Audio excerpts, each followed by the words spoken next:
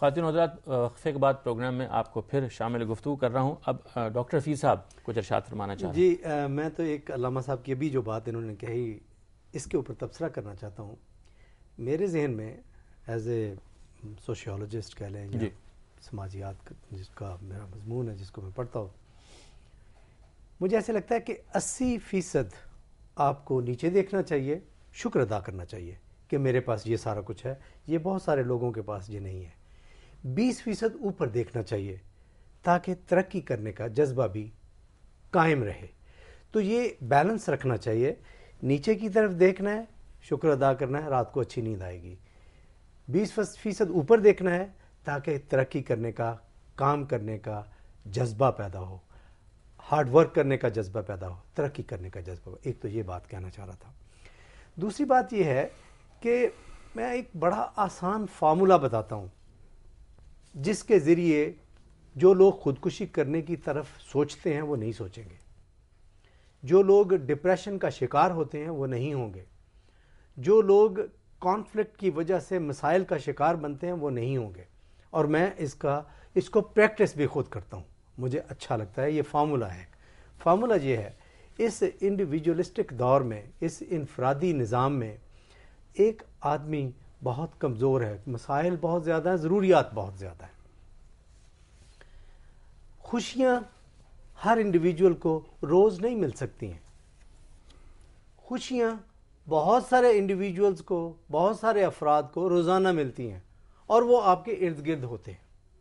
अगर लोगों की खुशियों को आप अपनी खुशियाँ बना लें, आपकी रोज़मर्रा की ज़िंदगी, आपके मिनट्स आपके आवर्स आपके डेज़ अच्छे गुजरेंगे।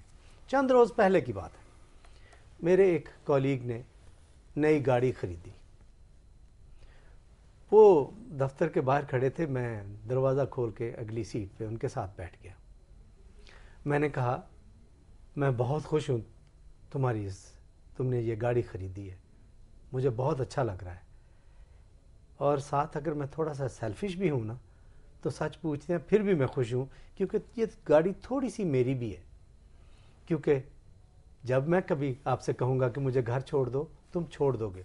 और तीन चार दिन बाद वाकई ऐसा हो गया कि वो बाहर खड़ा था तो मैंने उसको कहा यार मुझे घर छोड़ दो। और उसने मुझे उस नई गाड़ी में घर छोड़ जो हम रिलेशनशिप की बात कर वो रिलेशनशिप की बात है और सिर्फ़ इतनी सी बात है कि पॉजिटिव अगर मुझे नहीं मिला इसको तो मिला है इसको मिला ये भी मेरी खुशी है। देखो यही इस्लामी तालीम तरबियत क्या है कि अगर आप किसी दोस्त को देखें एक नई नेमत मिली है तो उसके हक में दुआ करें कि अल्लाह तुम्हें नसीब फरमाए. उसमें खुशी का इजहार करें। बिल्कुल सही और ये जो जज्बा आपने फरमाया बात वही रसूल को फरमान में अर्ज़ कर रहा था कि अपने अंदर मेहनत का जज्बा पैदा करें कि ये चीज़ मुझे हासिल करनी है मेहनत करके हासिल करनी है। ना कि आप हसद का शिकार हो जाए हसूद ला यसूद हसद करते खुद जलता भुनता है कुछ हासिल नहीं होता। और कुरान का हुक्म मुझे फ़र्स्ट नेकियों की तरफ़ सबका अख्तियार करो आगे बढ़ो मेहनत करो। बिल्कुल सही मेहनत को यानी ये सूरत हाल इंसान का कुछ किए बगैर मुझे हासिल हो जाए ये नहीं ये नहीं। इस्लाम इसका देखिए इस्लाम को फकर और फकीरी पसंद नहीं है। हज़रत इमाम जाफ़र सादक इस्लाम खिदमत एक शख्स आया, कहा कि नौजवान था बोला फ़कीर हूँ, गरीब दुआ कीजिए। फिर मैं क्या करते? हो जी, करता तो कुछ नहीं। फिर जाओ चले जाओ तुम्हारी दुआ नहीं करता। कहा मेरी दुआ नहीं करते? आप फरजंद रसूल, ये क्या? फरमाया पहले कुछ करो तो फिर दुआ करूँगा। हम कहते हैं, खाली दुआओं से बात हल होगी नहीं, कुछ करना है, फिर दुआएँ। बात वही है जिस तरह डॉक्टर साहब फरमा रहे थे कि हमारे ओलमा को भी चाहिए। पहले मसाजिद में सुबह से तफसीर हुआ करते थे, अखलाकियात के दर्स हुआ करते थे। लोगों की तरबियत की जाती थी घर घर जाके बच्चों को तरबियत की जाती थी। लेकिन आज सियासी मसाइल ने इतना उलझा दिया है, हर शख्स जहो जलाल के हसूल के दौड़ में शामिल हो चुका है और असल मकासद को भूल चुका है। ज़रूरत वही एक सादा ज़िंदगी अपनाने की।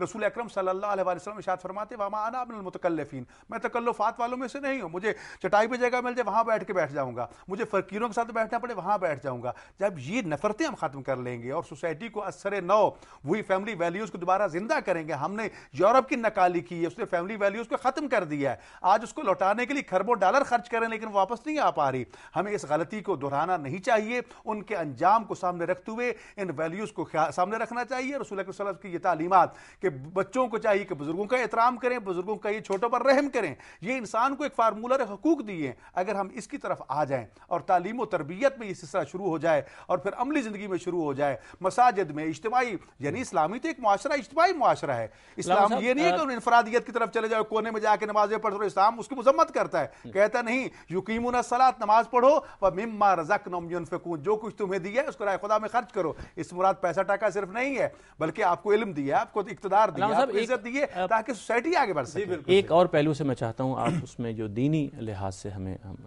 लाइटन कीजिए कि ये कुरान में आता है ना लाफसन कि हमने किसी इंसान को तकलीफ़ नहीं दी किसी नफ्स को जी, उसकी वसत से ज़्यादा। फिर उसको तकलीफ़ें पहुँचती हैं आलाम आते हैं दुनिया दुखों का घर समझा जाने लगा है। बुद्ध की तालीम देखें वहाँ पर ये सब कुछ हो सवाल ये है कि वो कोई हद भी है उसकी। जब लोग देखते हैं कि ये हमारी हद से बाहर हो गया तो उस वक्त वो इतना इंतहाई एक फ़ैसला करते हैं। वो ये समझते हैं कि ये गालिबा अब हम बर्दाश्त नहीं कर सकते। तो वो फिर एस्केप चाहते हैं इसको, उन्होंने कहा। ये कुछ थोड़ा सा रहनुमाई कीजिए कि इंसान पर जो आजमाइशें आती हैं, ये दरअसल दीन की उस स्कीम का हिस्सा है। देखिए, बात हुई है कि इंसान को दुनिया में इसलिए भेजा गया है ताकि वो अपने आप को फ़ाल रखे, मुतहरक रखे और अल्लाह ताला की तालीमत को सामने रखते हुए एक माशरती ज़िंदगी बसर करे। हमसाए के हकूक, बेटे के हकूक, बीवी के हकूक, उस्ताद के हकूक, शागिर्द के हकूक, ये सारे हकूक इसलिए मुतन किए गए और इंसान को एक दूसरे का अल्लाह ने मोहताज बना दिया कि एक दूसरे के बगैर तुम नहीं रह सकते। बेनियाज ज़ात जो है वो सिर्फ़ और सिर्फ़ अल्लाह ताला की ज़ात है गनी वही है और कोई भी नहीं है।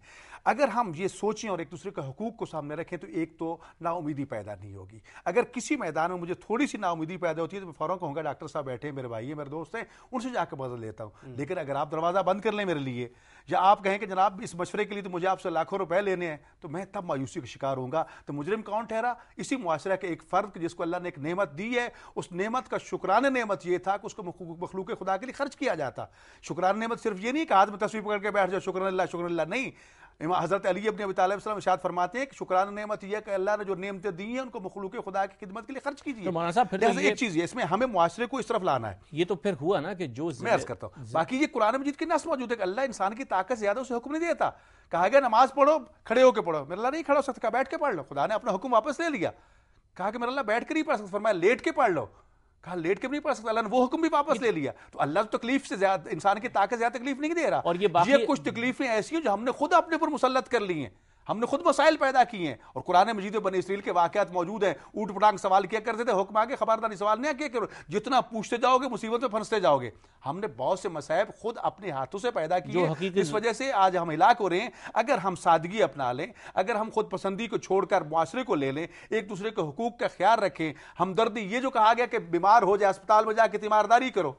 क्यों कहा कि जब तुम एक भाई की जियारत करने के लिए मुलाकात के लिए जाके उसके दरवाजे को खटखटाते हो तो रसूल अक्रम शाद फरमाते हैं अल्लाह ताला फरिश्तों में फख्र से कहता है देखो मेरे बंदे को मेरे दूसरे बंदे का कितना एहसास है। तो ये चीज़ें इंसानी हुकूक हमें इनकी तरफ़ मुतवजह करना है। अगर हम इस जज्बे से सरशार हो जाए तो ये मायूसियाँ खत्म हो हाँ, जाएँगी। लेकिन मैं आपसे एक सवाल बाद में ये करूँगा वक्फे का टाइम है कि जो जिम्मेदार हैं सोसाइटी के जिन्होंने हालात यहाँ तक पहुँचा दिए हैं कि एक आम आदमी समझता है कि अब उसके लिए इन मसाइब को बर्दाश्त करना और आसान नहीं होगा। उसके लिए उसको कुछ फ़रार चाहिए।